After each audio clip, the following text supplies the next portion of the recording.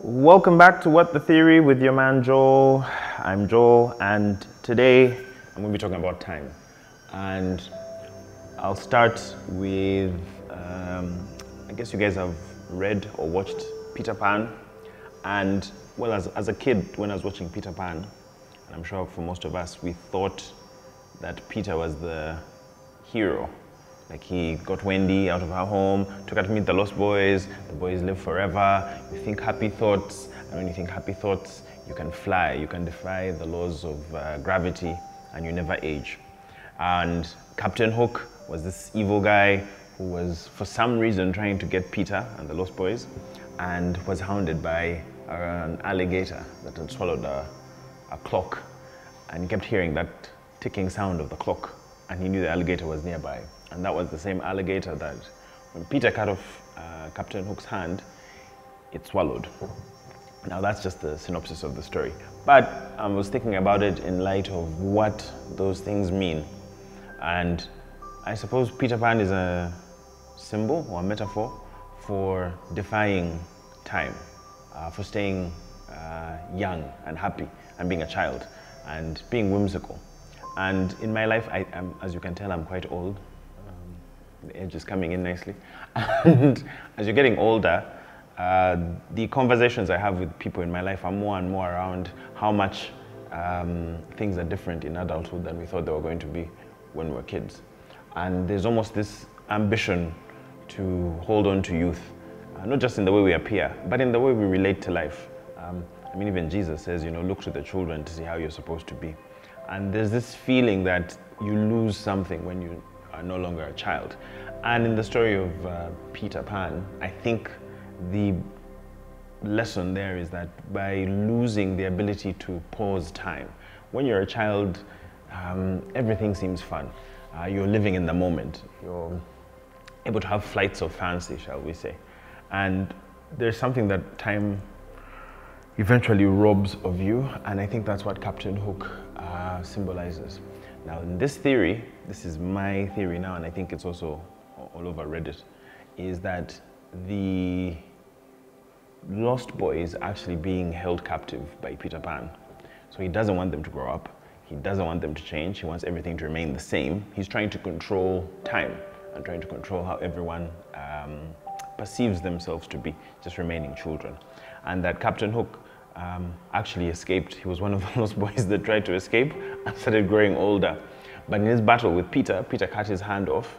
And when he fed it to the alligator, it was almost like a symbol of um, he lost something. I mean, Hook uh, sacrificed something when he lost his youth. And the very fact that when you become an adult, time is always coming for you.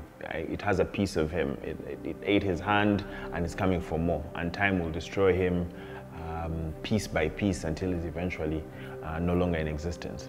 And that being an adult, he sort of represents um, seriousness and responsibility and all of those things. And he's fighting against uh, youthful whimsy. And that's, you know, basically the reading I've always had of, um, of that book. And I think as you grow older, you start to realize Captain Hook's dilemma of being chased by time. And um, Maybe let's do an experiment. Wherever you're sitting now, uh, how many devices are telling you the time? Like right now, I have my watch, I have uh, my laptop telling me the time, and I have my phone. There's a constant reminder um, of where I'm meant to be, of what I'm supposed to be doing, of how I'm supposed to be doing it, and it's a way for me to communicate to other people that these are my priorities. I give you this amount of time. Um, and I think while that's I guess modernity, the, the definition of modernity is how we manage time. A modern place is one that packages it, that has the 12 hour clock, um, that knows this is the time to work, this is the time to be home, this is time to eat, time to rest. And I always thought that that's what's measured by a clock, that that's the time. But I'm starting to get to the point where that's just a version of time. Um, for instance, uh, I've, I've, been spending time with uh, kids uh, quite a bit relatives, you know, have a lot of kids, they are breeding mob. And when, when I hang out with those kids, there's something different. Um, you, you, you tell someone who's nine years old that you get them something next week, you might as well have told them that they'll get it next year.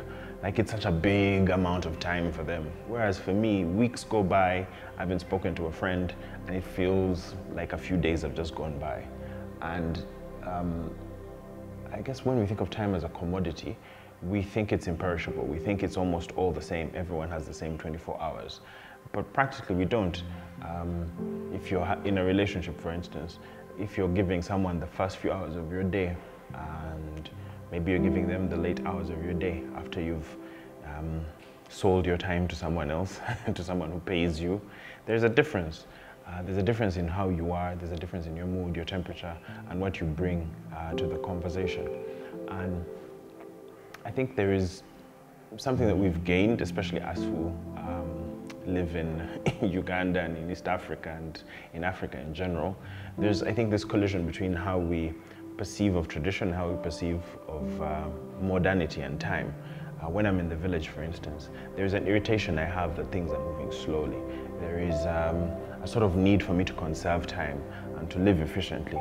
And now, uh, I won't say that that hasn't given me some rewards.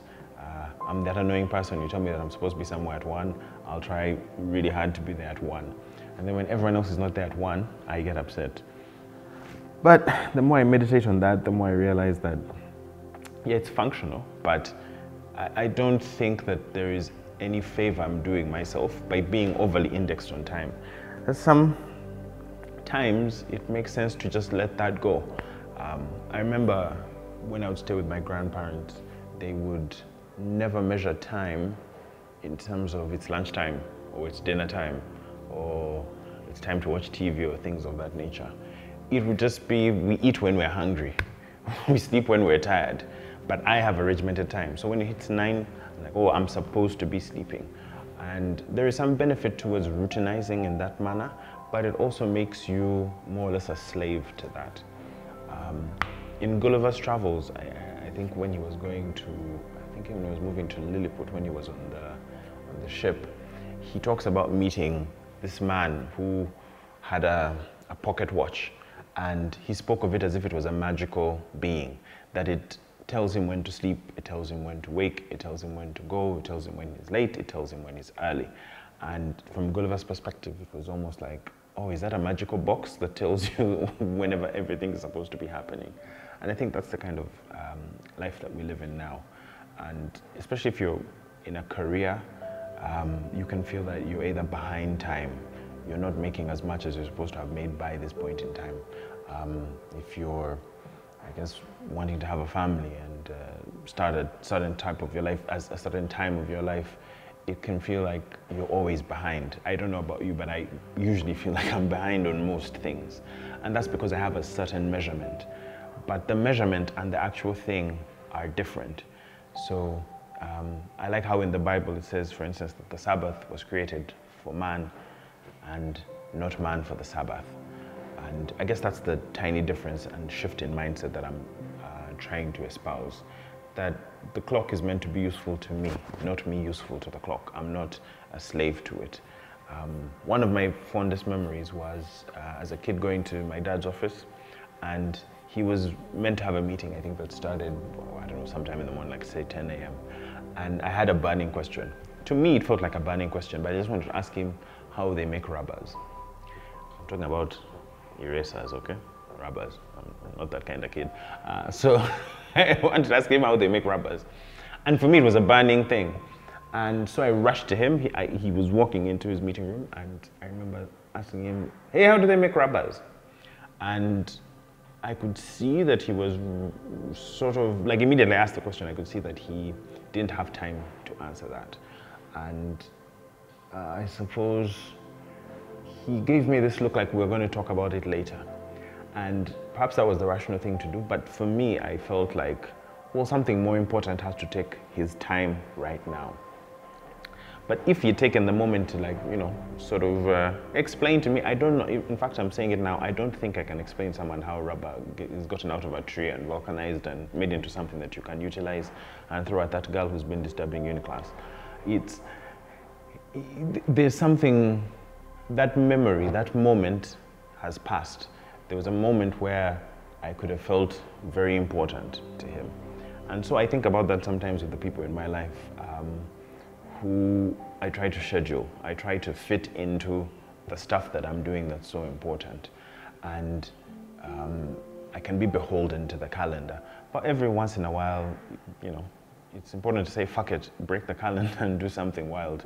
It's important on like a, a random Tuesday, if you can, to do something different, to break out of the norm. Only if to remind yourself that um, you don't serve time, time is meant to serve you. And it's moving all the time. It's, uh, the, the clock is always going to be ticking. That alligator is always going to be chasing us. It's going to haunt our every moment. Death stalks us at everything that we do.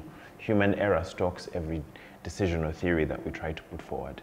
And there is a, a manner of living where you let that thought um, drive you, you let that thought sort of scare you. Um, but then there's also embracing it and understanding that you don't have control over nature, you don't have control over further time. Um, but what you have control over is what you can do with the little bit that you have. And I suppose moving from I have to to I want to is my, uh, is my message for today. Um, how much of your day can you say, I want to do this, and you're actually doing it versus I have to do that? For me, there's still a lot of I have to, but I'm hoping to make it more of I want to. So tell me what you think, and uh, don't forget to subscribe. Quality content like this. Do you see? Do you see my shirt? It's fantastic. You're going to be seeing a lot of it coming up. All right. Have a great day.